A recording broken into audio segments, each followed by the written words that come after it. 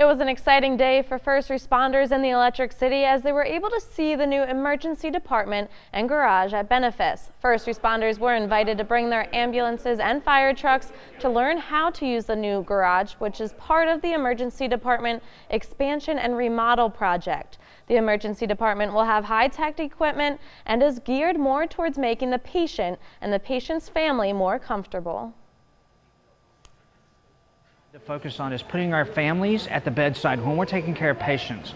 We wanted the rooms large enough, so we built them larger so the families can be there and be with their loved one while we're going through the emergency treatment area.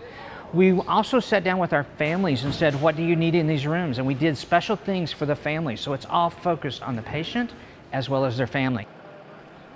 The garage connects directly to the ER, so patients will not have to be unloaded from ambulances in bad weather. The emergency department will open on Tuesday.